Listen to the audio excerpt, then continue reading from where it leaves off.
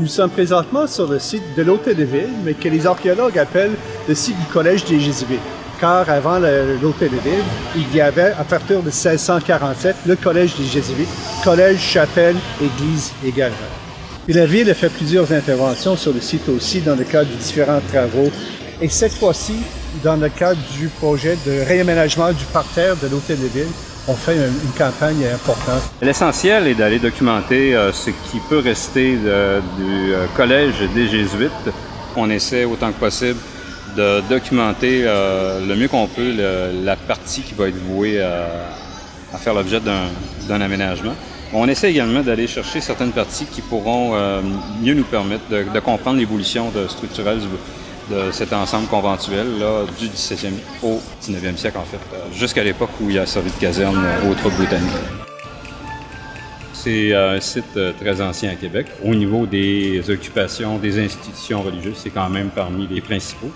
Deuxièmement, il a été occupé très tôt au 17e siècle et les Jésuites ont quand même rayonné à travers la colonie. D'ailleurs, l'appellation collège des Jésuites ne se voulait pas restrictive à la ville de Québec, mais se voulait être appliquée à l'ensemble de la colonie de Nouvelle-France.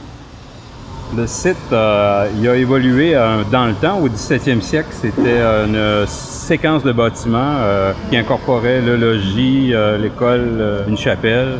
Et par la suite, il y a eu reconstruction en 1725 et c'est cette partie qu'on voit encore sur les photos à la fin du 19e siècle. C'est l'ensemble de ces bâtiments qu'on tente de, de documenter. si on est chanceux, on aura des niveaux de cours qui nous permettront d'aller plus loin également pour les modes de vie, la culture matérielle, etc. C'est de décortiquer également l'évolution du site euh, au niveau architectural, bien sûr, euh, à travers le temps. C'était vraiment un des grands euh, centres administratifs du côté ecclésiastique au régime français. Nous sommes au cœur de la cité ici. On peut le voir très bien dans l'iconographie de l'époque. Il y avait le collège des Jésuites, très grand, aussi imposant, sinon plus imposant que l'hôtel de ville actuel. Le site du Collège des Jésuites, c'était les premières fouilles archéologiques à Québec et parmi les premières au Québec.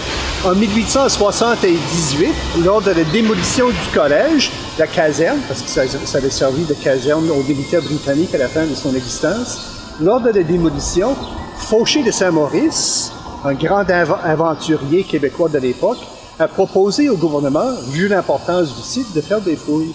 Et il a trouvé des vestiges du collège de la chapelle, bien sûr, puis il a trouvé à l'intérieur de la chapelle les restes de jésuites, donc d'individus qui, euh, qui avaient été inhumés à l'intérieur. Il y en a eu d'autres aussi en 1971, lors de la construction du stationnement souterrain de l'Hôtel de Ville. Les grandes fouilles euh, par le ministère des Affaires culturelles de l'époque à l'emplacement du collège. Et encore une fois, d'autres sépultures qui ont été trouvées. Puis la ville a fait plusieurs interventions sur le site aussi dans le cadre de différents travaux Jusqu'à maintenant, euh, il y a quelques murs, euh, dont le mur de façade du, euh, Collège des Jésuites, évidemment, qui a été trouvé.